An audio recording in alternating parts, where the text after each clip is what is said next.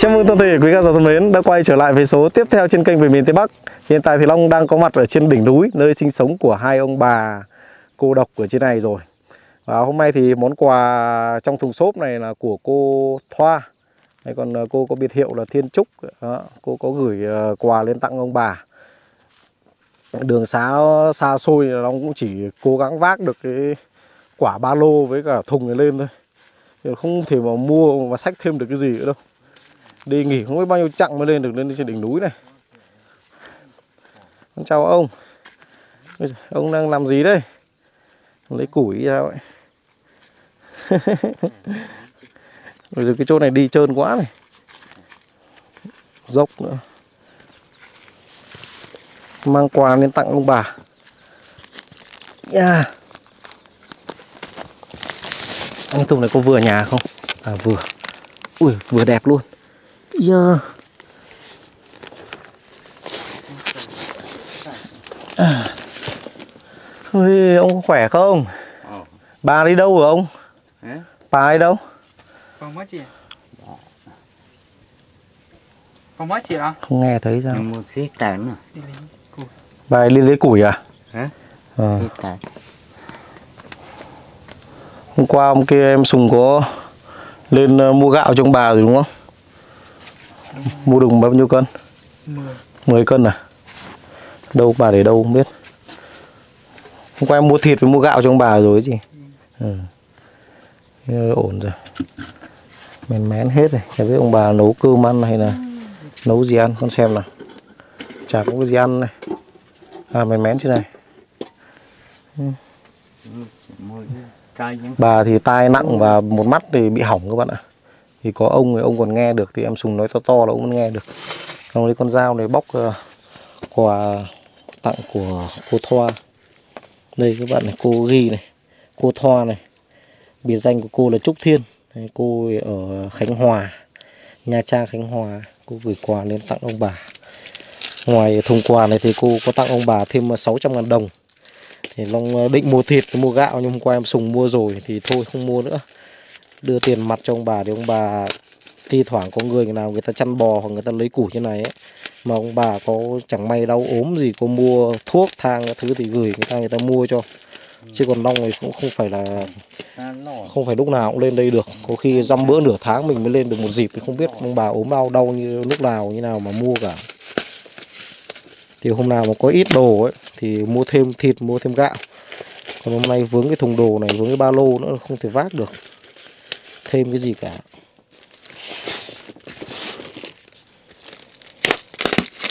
Ông bà thấy quà lên quý lắm tò mò lắm.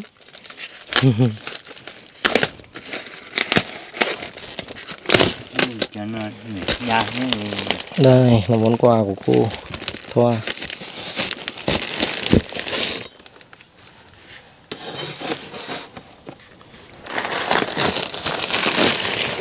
quần áo bạn ạ. Cái áo này chắc áo tặng cho bà thì áo này áo con phụ nữ. Thì cứ để đây ông bà khác à, mặc sau. Tặng bà cái quạt này. Mát không? Ngoài ra thì bánh các bạn ạ. Bánh, này, bánh gạo này.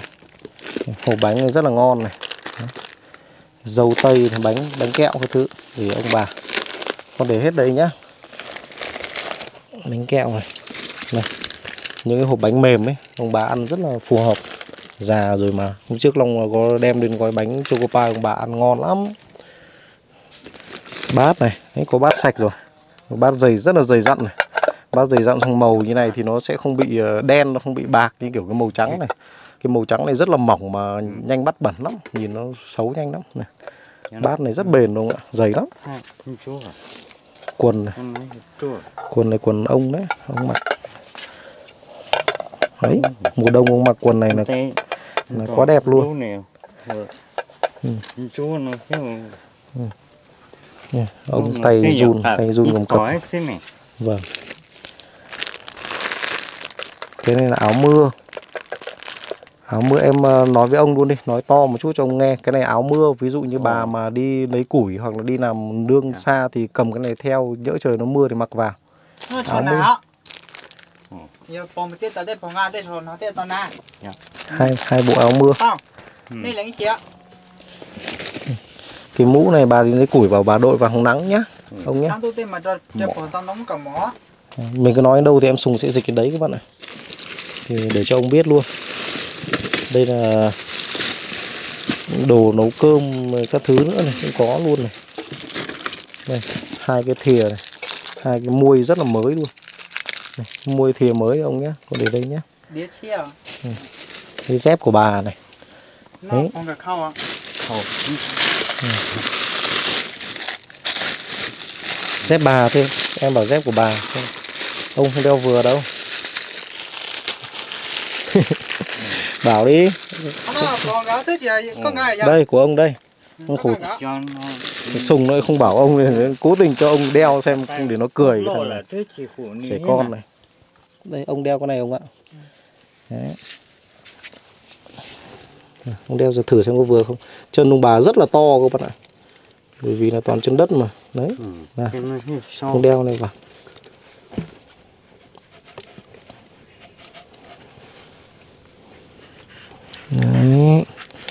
đấy ông thử đi này thử đi này. Xem chắc chân không Ừ. đấy ấm nhỉ. Đấy.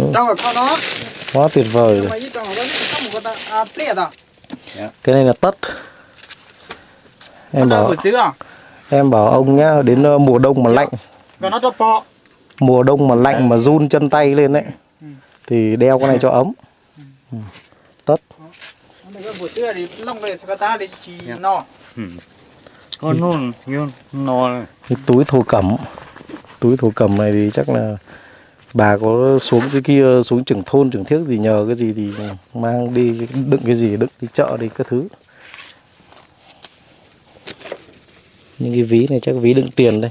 Đây này đấy. À tí nữa để đây đựng tiền cho bà bởi vì là cô còn gửi tặng bà 600 ngàn đồng mà. Nó thì tí nữa nó sẽ cho tiền vào trong này để bà giấu đi. Đấy, giấu đi xong treo hoặc là đeo lên người thì sẽ không mất được. Là ca này ca nước ông bà đun nước sôi, sôi xong để nguội xong là dồn vào đây có hai cái cốc bên trong này để uống cho sạch sẽ.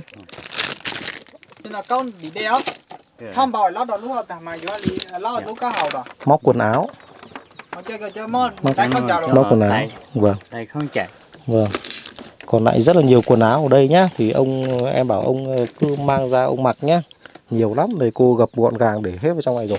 Con Ờ. con này con dao này. Con gái nó tiệt đó để nè đây. Ừ, được phao rồi. Khăn mặt này. Đầy đủ hết cả khăn mặt các thứ là coi như là đầy đủ hết này đồ dùng các thứ cho ông này. Cứ để đây là ông khắp biết dùng thôi những cái đồ này đồ dùng cá nhân thì ông sẽ biết. Đấy cơ bản như vậy các bạn ạ. Còn quần áo nữa. Đậy hết vào đây thì tí nữa bà về thì bà sẽ đem ra xong là bà thử mặc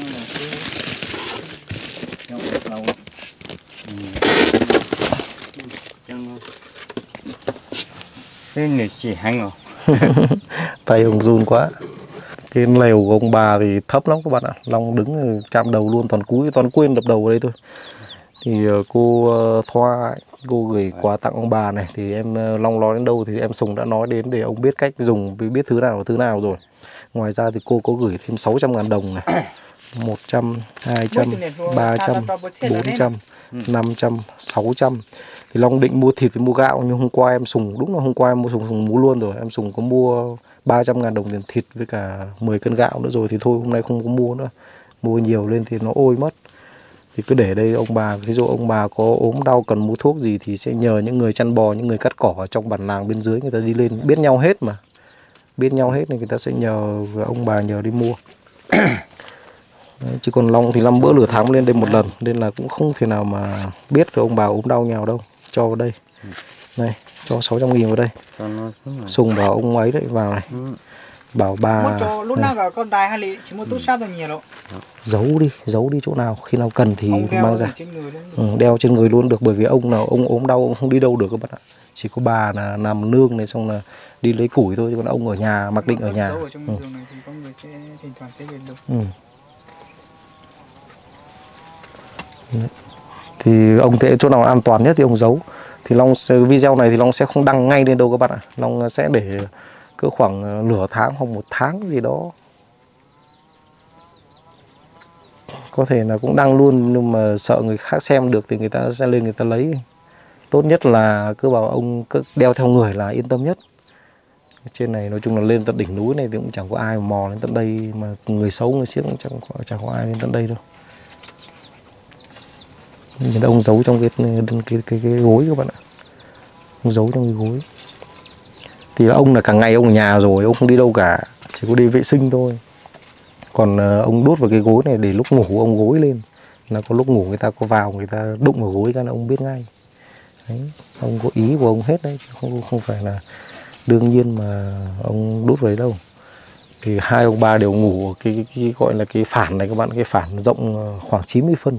Hai ông bà đều ngủ trên này. Bữa trước long có mua chăn mua màn các thứ rồi còn cái phản bên này thì chủ yếu là để gạo với cả để ngồi thôi. Chứ hai ông bà vẫn ngủ chung vẫn rất là tình cảm. Ở bên trên này. Mang cái bánh này ông ăn thử xem nào. No tha no tha. No tha. No tha. Tha. No tha. Ờ, ngon không?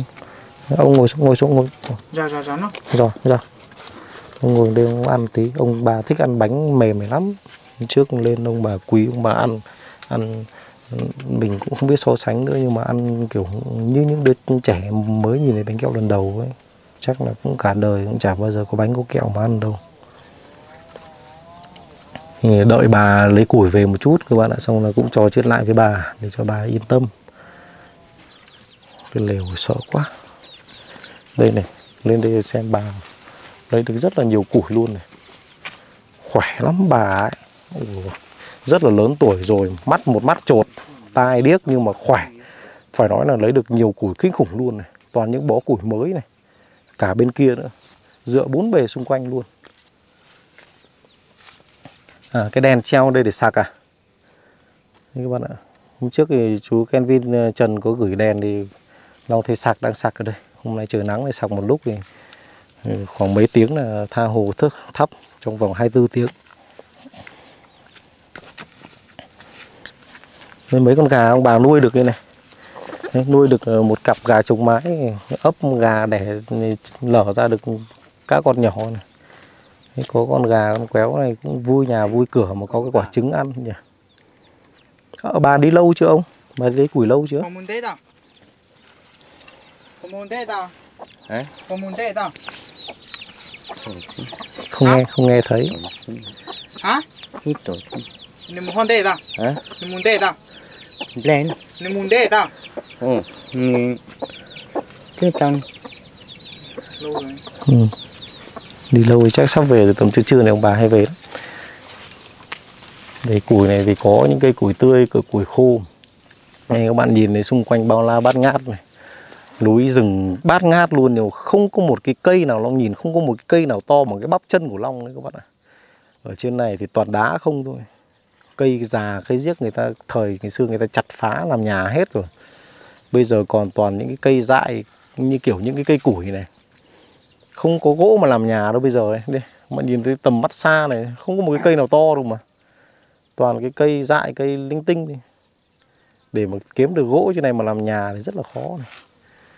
Trên núi đá nó có như kiểu rừng già nguyên sinh đâu. Bảo chặt thì nó còn mọc lên cây mới, trên này thì chịu. Có mà hàng trăm năm nó mới lên to to một tí thì chặt phá hết rừng rồi. Nên trên này mới biết là cái nhà của ông bà bây giờ rất là khó. Hôm trước nó cũng nói chuyện với anh trưởng thôn, trưởng bản rồi. Anh trưởng bản thì cũng là anh em gì với nhà ông bà, dây mơ dây mái gì đấy. Kiểu họ hàng cháu chắt đấy. Thì cũng đang bảo là cũng muốn ờ, có quỹ, có tiền thì sẽ dựng lại cho ông bà nhà một cái nhà gỗ nó to hơn này một chút và nó chắc chắn nhưng bảo thử hỏi thử xem là có xin được đất ở dưới ờ, trung tâm bản ở bên dưới để dựng cho ông bà không. Thì anh bảo cái này thì cũng tương đối khó vì nó cũng không phải ai người ta cũng sẵn sàng mà tặng đất, tặng điếc. Mà mua thì cực kỳ khó rồi. Trên này tất đất, tất vàng, độ dốc, độ cao, nhà nào cũng muốn giữ lại làm nương, làm ruộng. Mình mua một cái mảnh đất nhỏ nhỏ này nó, người ta bán thì cũng chẳng được bao nhiêu, nhưng người ta cũng chẳng muốn bán người ta để đấy thì người ta còn đời nọ đời kia người ta làm nhà làm cửa cho con cháu người ta kiểu kiểu đấy. Mua cái mảnh đất to to trăm hai trăm triệu thì có khi người ta bán chứ còn bảo là năm 10 triệu thì khó lắm. Năm 10 triệu nó cũng chả giải quyết vấn đề gì nên người ta cũng chẳng muốn bán. Mà cái nhà thì các bạn nhìn này tôn rồi nào thì ờ, uh, bạt rồi nào thì những cái cây dại cây danh gỗ ghiếc chốc trần lên hết lên trên ờ, đỉnh nhà kìa. Nát nát kinh khủng luôn. Chẳng ở được lâu đâu các bạn là cái nhà này chỉ được một, hai tháng nữa là nó siêu lô vẹo, nó sụp đổ mất. Nên là hy vọng là sẽ làm việc được với anh trưởng bản để kiếm một cái mảnh đất nho nhỏ dưới kia rồi kêu gọi các quý hảo tâm dựng cho ông bà một cái nhà gỗ bé bé bên dưới kia. Bên dưới kia thì cũng chẳng xây được đâu. Nói là trung tâm bản thôi nhưng mà đi đường xe máy mấy cây số ở dưới này lại, trên này có một cái tảng đá này các bạn này. Nó nhìn cái tảng đá này nguy hiểm quá trời luôn nhưng không không phải là nguy hiểm vừa nữa đâu. Nhìn thì chắc là nó cũng chả đồ được đâu, nhưng mà nhìn trông nó nghiêng hẳn về đằng dưới này. Cũng chẳng nói mạnh được với cái thế đất này. Cứ chẳng may nó có làm sao thì nó mà đổ xuống thì khổ.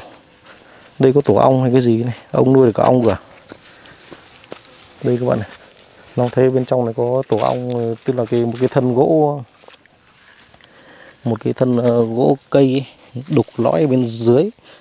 Và ong sống ở đấy, chắc là ông bắt được ở trên rừng, ông về đây ông cấy ở trên mảnh đất Hà Giang này thì đặc biệt là đến cái mùa hoa bạc hà ấy các bạn ạ. Rất là nhiều mật ong bạc hà. Cái này thì nuôi là mình có tác động nhưng mà nó là kiểu như nó hút hoa tự nhiên chứ không cho ăn đường các thứ là đảm bảo. Sợ nhất là mật ong cho ăn đường các thứ thì nguy hiểm lắm. Bây giờ anh em xuống dưới kia nghỉ trò chuyện với ông một tí xong đợi bà về để dặn bà lại. Thì hai ông bà biết được. Ừ. Không ờ, sợ nhớ tiền long cái thì ông nhớ nhớ quên quên đấy. Thì dặn cả thêm bà nữa cho yên tâm. Ông quên thì còn có bà, nhớ. Ông ấy tỉnh táo hơn bà ông nó bảo gì ấy? gà thích nhỉ? Một cặp, một một cặp gà trồng mái, cứ như kiểu ông kiểu đúng là hai ông bà nuôi được một con gà trống một con gà mái. Nhìn một đàn con cái nữa. Ông à, bà thì có một cô con gái. Ngày xưa lấy chồng ở dưới bản kia kìa. Nhưng mà chồng nó rượu chè nó đánh đập, nên là chạy rồi. Chạy sang Trung Quốc rồi bây giờ bỏ lại ông bà này chẳng ai chăm sóc cả. Đây các bạn này. Ô, nó chỉ sợ nó tuột xuống thôi. Chẳng may nó tuột cái cây này xuống nó cắm vào mặt chết. Nhà nát quá không phải nát vừa nữa. Nát kinh khủng luôn đấy những cái chỗ dốc dốc như này là bà khỏe này ông thì tay run cùng cập không làm ăn được cái gì đâu. Toàn bà làm thôi. Mà trồng ngô rồi dãy cỏ sạch sẽ như này cơ mà. Đấy trồng ngô bắt đầu lên đến đầu gối rồi. Thì còn thu còn à, làm mèn mén mà ăn chứ không không biết ăn gì. Ai người ta cho cái gì thì được cái gì hay cái đấy thôi chứ còn có phải người ta cho được cả năm, cả tháng đâu. Ở trên bản thì cả bản nghèo chứ có phải là một, hai người nghèo đâu. Cả bản đều nghèo như nhau hết thì chả ai giúp được ai đâu các bạn ạ. Cái đu đủ này hôm nọ long nhìn thấy nhiều quả nhưng mà hái hết rồi. Ông bà ăn những cái bữa nấu ăn hàng ngày nấu dần nấu dần là hết rồi. Chả còn cái gì cả.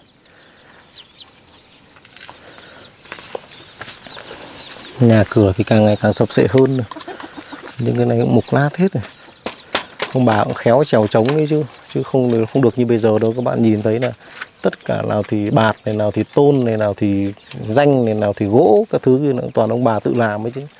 Buộc lạt, buộc lẹp như này. Nói chung là nhìn thì trông nó yếu, nhưng mà buộc chặt lắm đấy này là kiểu như là cũng rất là chịu khó để tu sửa, để chắp vá thêm vào cái nhà như này chứ cũng không nó không nó mà thực sự là nó không được như thế này đâu. Nhìn cái nhà cái cửa sợ lắm các bạn ạ. Bốn bề xung quanh chắp vá đủ các kiểu. Nhưng bà cũng có nhiều cây đu đủ dại lắm các bạn này đây hoa đu đủ đực này. Cây này không, không có quả đâu hoa đủ đực. Nó chỉ ra hoa thôi nó không kết thành quả được.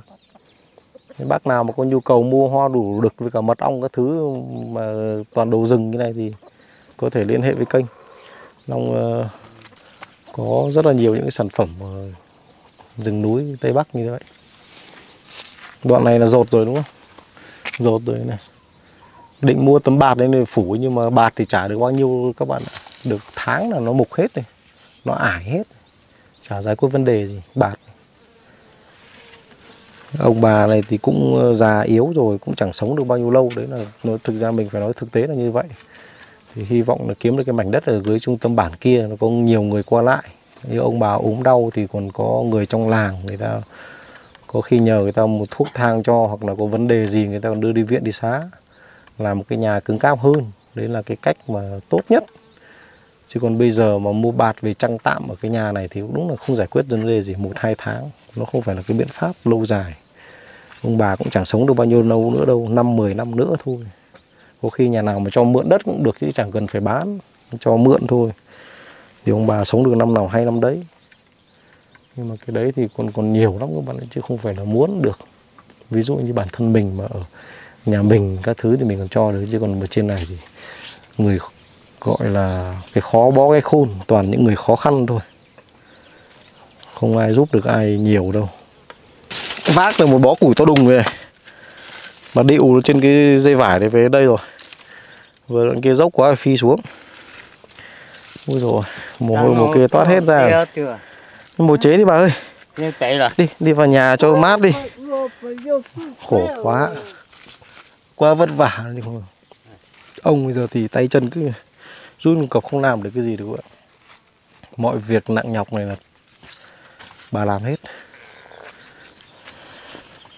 đi vào nhà cho mát rồi nghỉ tí bà ấy, xong là nói chuyện để cho bà biết. Dặn bà quan trọng nhất là cái tiền kia cất cẩn thận mãi.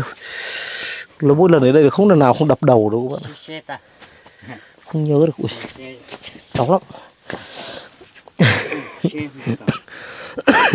Bà vào uống nước rồi bà, nghỉ ngơi tí.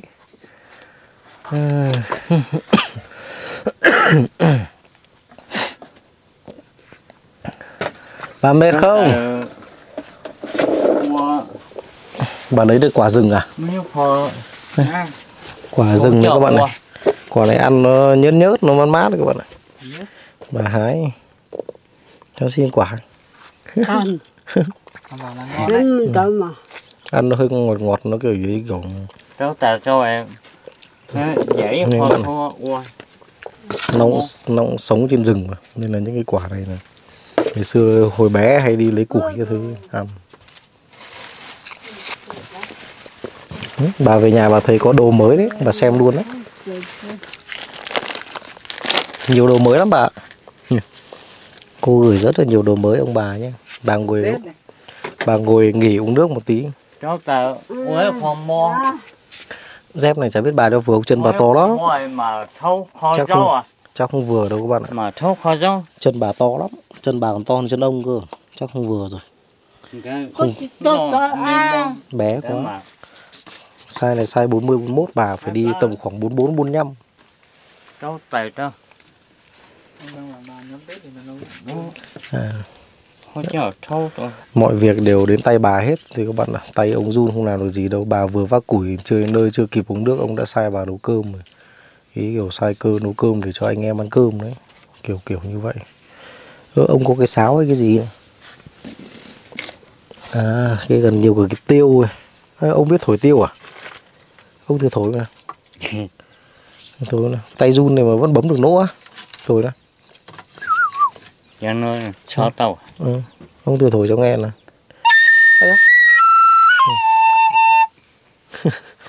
nó múa. Múa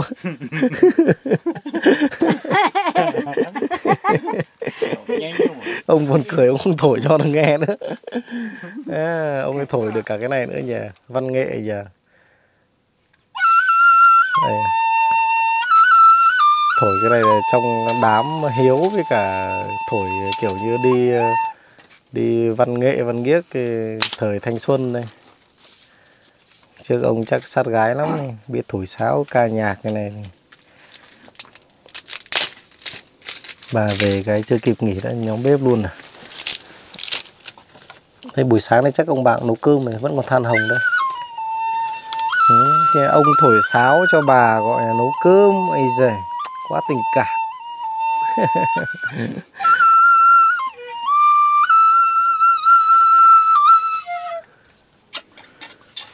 Để để đi ra con gọn đây cho bà nhóm bếp này. Bà quen cái việc này rồi để bà cứ làm những công việc như hàng ngày đi. Rất là tiếc bởi vì chân bà rất là to các bạn ạ. Chân bà còn to hơn cả chân long cơ. Cháu long đã đi dép cỡ 42 43 rồi thì bà chắc phải đi 44 45 cơ. Thì đôi dép này rất là đẹp nhưng mà không vừa được. Thì chắc để đây thì để bà làm kỷ niệm thôi. Còn ờ, khi nào thì sẽ mua bà đôi dép khác. Hỏi bà xem bà có dép chưa có bún mốc khao không?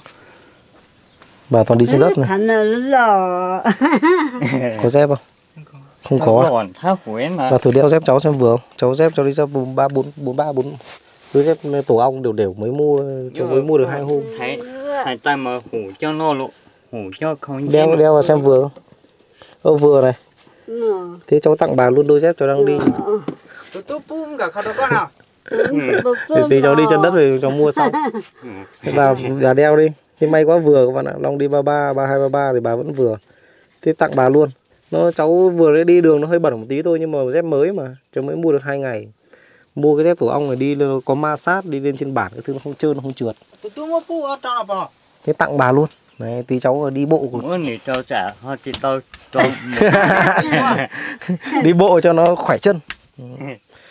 thế ông bà nấu cơm đi con ra ngoài một tí cho thoáng thoáng xong tí con vào con ăn cơm với ông bà. Nó Ở tụi- xong là vào nói ở chuyện trong với ông bà. Ừ, thì cho mua bé hát trong tên mặt trong cả có. Dạ. Ờ.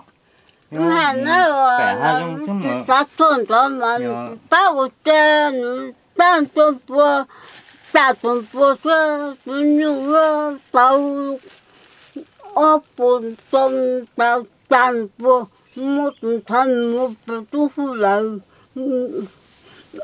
nó bảo bà bảo gì? Bà nói như kiểu nhanh nhanh xong rồi cứ dí dí vào nhau không không nghe được bà kiểu nói không rõ tiếng đâu đúng không? Bà kiểu như tai tai điếc thì cái mồm nói nó sẽ không bao giờ là lưu loát được như kiểu tai thính. Mắt mắt mù mất mắt rồi. Ta tai điếc xong bây giờ kiểu nói cũng không không không rõ lời nữa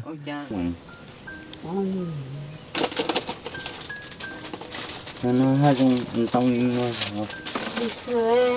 Phượng có sự phân chân thế này. Nào có Dạ. mà ừ chạy chết lộ chỉ chân chân thế thôi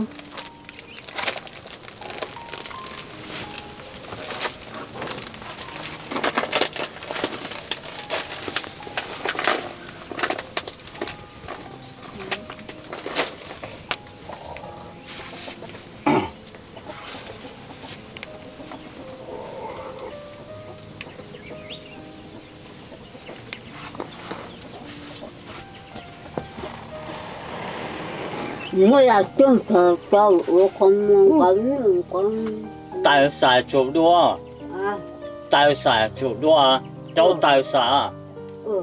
Ừ. Chúa tài cháu à? Chúa tài cháu à? Bố bố. Ừ. Một chục với cho mà. Không chục với là bố bố nêu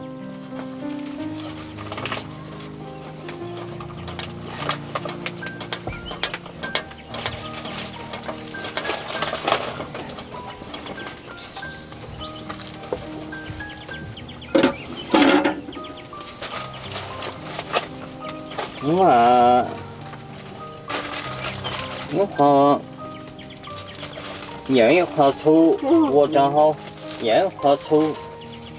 Ô ô mua cho cho những 做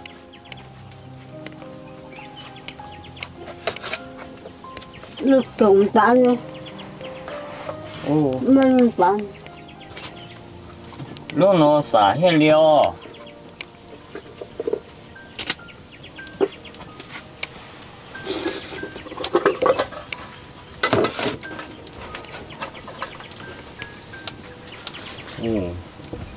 nó trôi trong cái nó là tiền lúc số nó pha luôn mà Thôi trong lúc nó xả À, con cũng con con lo không. Mua cô nè.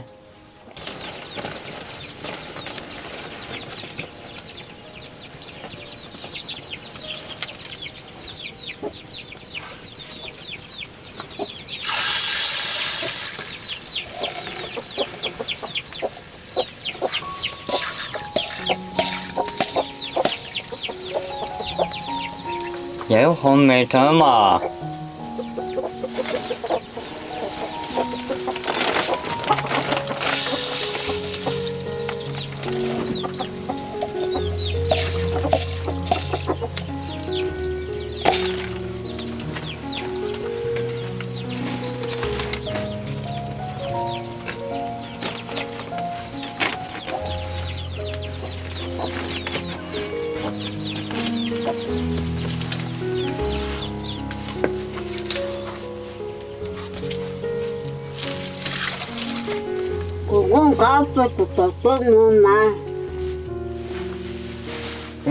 không cho thở mà không cho xả chỉ có lộn để thứ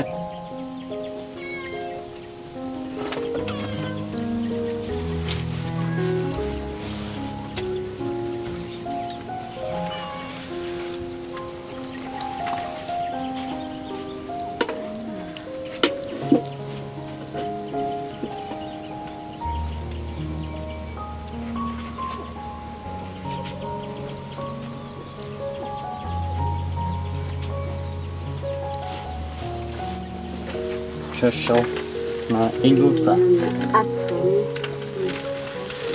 tha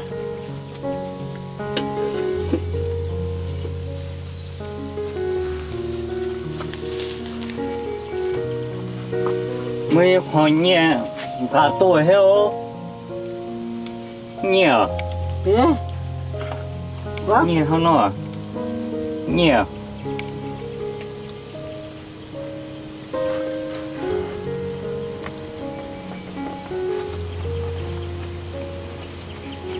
Khoản nhẹ không nó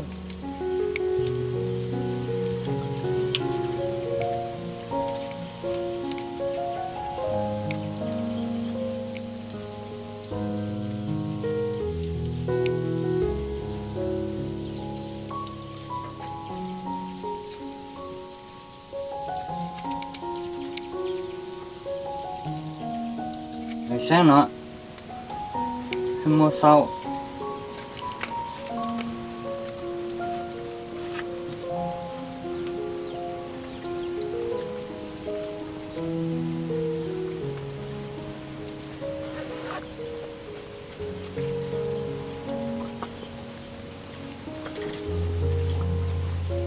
cho mà yong khi có khi có nó nó hết đi. Vẫn còn nóng hổi. Ê, để cho cái này cho sạch vào nó mó.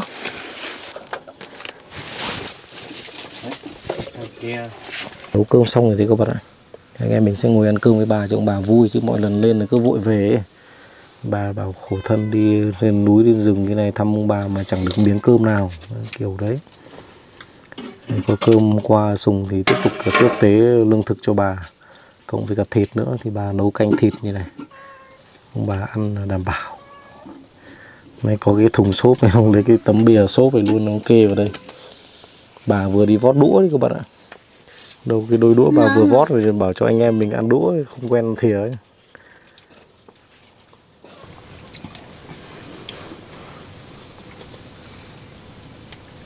Mình con còn một con xin mời toàn thể à, quý khán giả hãy dùng à, bữa cùng à, ông bà và hai anh em nhé. Mà lòng ngồi ngắm nhìn ông bà ăn một chút và sẽ ngồi ăn cùng ông bà cho ông bà vui. mi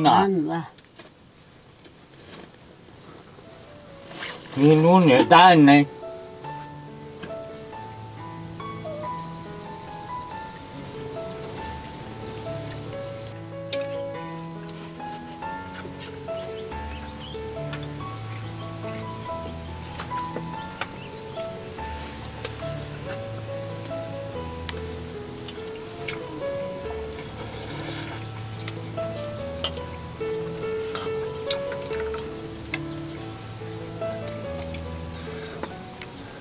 cô Thoa mới mua cho ông bà hai cái thìa hai cái muôi dày lắm các bạn ạ.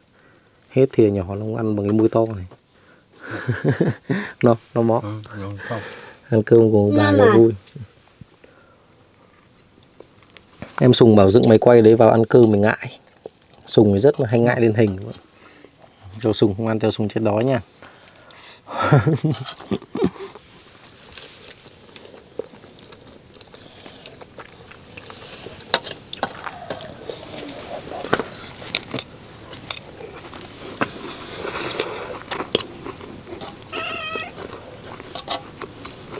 thịt lợn trên vùng cao thơm lắm bạn. Ạ.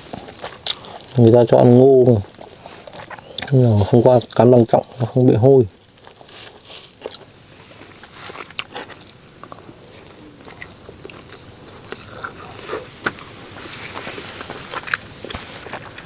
Chắc là tắt máy đi cho em sùng vào ăn một tí các bạn. Không đi cả ngày trên rừng, trên núi như này. Sùng nó hay đứng trước cửa máy quay, hay ngại Long sẽ tắt máy đi cho em sùng cùng như anh Long ngồi ăn cơm với ông bà cho vui. Chứ đứng bên ngoài ông bà lại nghĩ bao nhiêu lần lên mà không có ăn cơm cùng ông bà.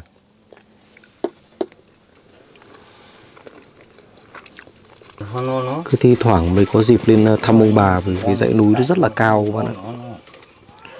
Mang cho ông bà cái cân gạo miếng thịt bánh kẹo rồi tiền này để ông bà có nhờ ai mua thuốc các thứ, sau này bà bị ốm đau gì cũng là một cái niềm rất là vui. Nhưng vì công việc của Long cũng khá là nhiều, nên là cũng ra bữa nửa tháng lên đây được một dịp. Ngồi với ông bà ăn cơm này, ông bà vui lắm các bạn ạ. Nếu mà anh em mà lên ờ, ghi hình xong là tặng quà ông bà xong là về luôn thì bà kiểu như bà cứ cảm giác hụt hẫng ấy ông bà ăn cơm xong thì chắc là có lẽ là nghỉ ngơi. Chứ bây giờ thì ngô cũng trồng xong hết rồi củi thì một ngày lấy một bó là thoải mái đun rồi. Ông thì già yếu tay run không làm được cái gì cả. Đa phần là bà hết lấy củi rồi trồng ngô chăn gà rồi về nhà lại. đi lấy nước nấu cơm đủ mọi việc vào tay bà hết. Vô. ông thì ở nhà trông nhà thôi. Mọi thứ đồ dùng này thì em dùng em sùng cũng đã phiên dịch lại cho ông bà rồi. Tiền long thì cũng dặn bà. Đây, bà cất trong người rồi. Buộc chẳng mà người này mới an toàn. Ông bà giữ gìn ông bà giữ gìn sức khỏe nhá. đây cháu để đôi dép ở đây nhá. Bà đi chịu khó đi dép và không là đi lên rừng lên núi nguy hiểm. Gai. gai các thứ nó đâm vào chân là khổ cháu mồ chế đây mồ chế đây con mồ chế đây ông bà giữ gìn sức khỏe nhá. Chứ à? mồ chế. Nè, thế chỉ Vâng. nó mò. Thế chỉ mồ chế mồ chế.